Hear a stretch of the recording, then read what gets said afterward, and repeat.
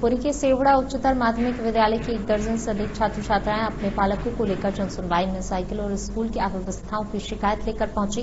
तभी जन सुनवाई में बैठे डिप्टी कलेक्टर अंकुर गुप्ता का छात्र छात्राओं के साथ आए पालकों पर गुस्सा फूट पड़ा और एफआईआर करने की धमकी दी वहीं मामले में छात्र छात्राओं का कहना था कि हमारा विद्यालय ग्राम सेवाड़ा के नाम से बना है, जो कि ग्राम पंचायत हिम्मतगढ़ में है तो इसकी सेवड़ा से दूरी तीन किलोमीटर है। शासन के अनुसार हिम्मतगढ़ के बच्चों को साइकिल वितरित की जा रही है, जबकि वास्तविक स्थिति ये है कि विद्यालय से हिम्मतगढ़ की दूरी मात्र सौ मीटर है, जबकि विद्यालय के ग्राम सेवाड़ा की दूरी तीन किलोमीटर से अधिक है, जिसके चलते ग्राम सेवाड़ा के छात्र छात्राएँ नियमित रूप से विद्यालय आने में असमर्थ हैं।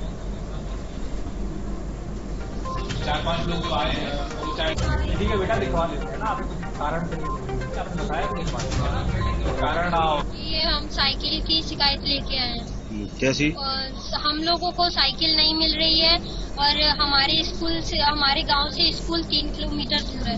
और हम लोग वहाँ से कड़ी धूप में पैदल चलकर स्कूल जाते हैं। तो हमें प्रॉब्लम होती है और जो पास में ही गाँव है उन लोगों को साइकिल मिली है लेकिन हमें नहीं मिली है तो हमें साइकिल चाहिए कितने बच्चे ऐसे जिनको साइकिल नहीं मिली? चौवन बच्चे हैं। चौवन बच्चे जी हाँ पानी की प्रॉब्लम भी है हमें।